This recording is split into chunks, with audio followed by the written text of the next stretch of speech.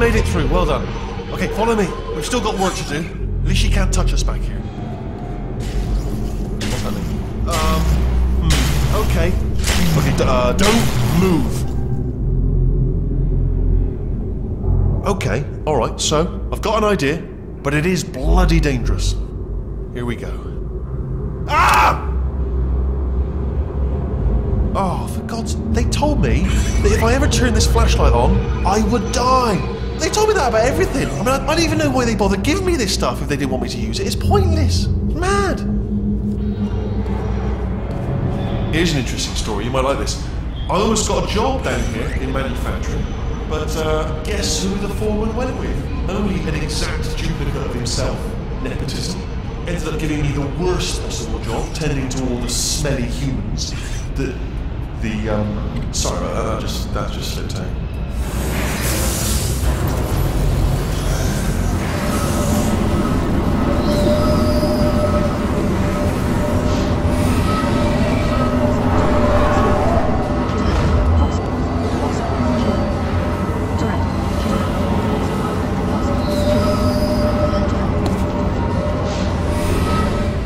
This looks dangerous. I'll hold the light steady.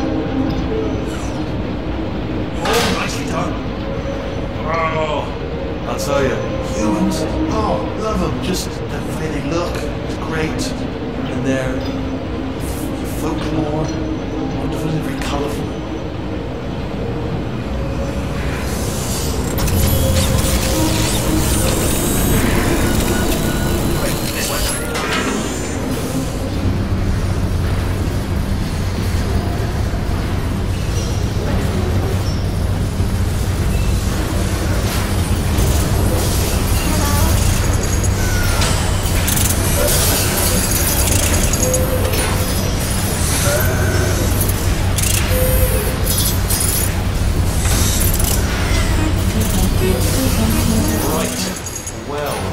I'm gonna take this route down the back way. See you, Bob. Good luck.